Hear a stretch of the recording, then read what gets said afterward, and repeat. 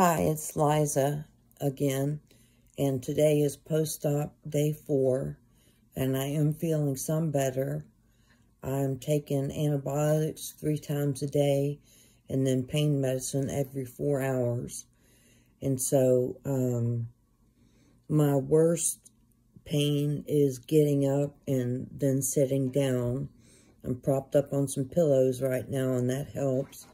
But I am able to walk around and there's no bending, lifting, or twisting, the BLTs they told me about.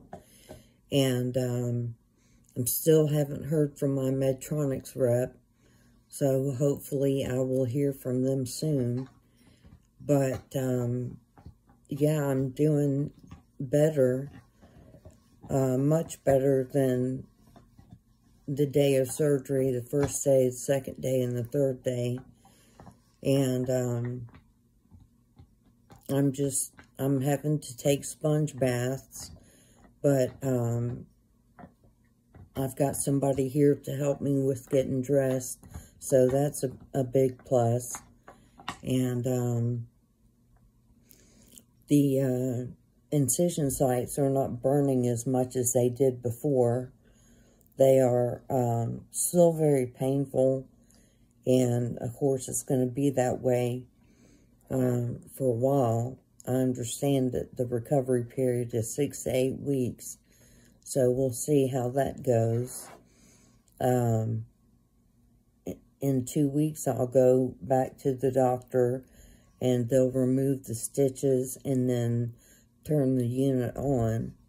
And I have a box here that has all the charging equipment in it except there's a male part and no female part to the charger, so I'm going to have to ask about that. And then they told me that in about two weeks I would get a card in the mail that I would need to carry with me. And my implant is MRI compatible, so I can have any MRI that I need to from head to toe. Um, other than that, um, I just wanted to check in and let you know how I'm doing. So I'll come back tomorrow and we'll touch base again.